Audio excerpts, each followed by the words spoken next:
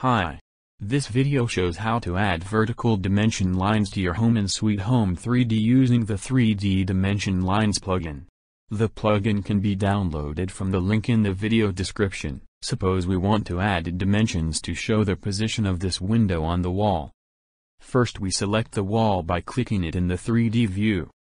Then we use the camera alignment tool to align the camera to the wall. We just press it until we see it from the wanted side. Now we turn on the parallel projection mode. We can zoom out using control and mouse wheel. The wall we are looking for is hidden by other walls and objects, so we scroll forward to move the camera past them. Here we go. We select the 3D Dimension Lines tool. We can pan the view using the middle mouse button, or control space. We click on the starting point. We can still zoom and pan while drawing the line. We click on the end point. And then we place the line at an offset. We can click on an end while pressing Alt to change the line length.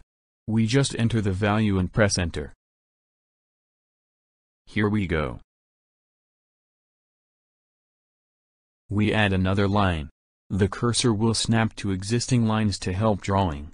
Don't worry if the length isn't what you expect, you can change it later. Again, we place the line at a convenient offset. And then we drag the endpoint to the wanted position. Here we go.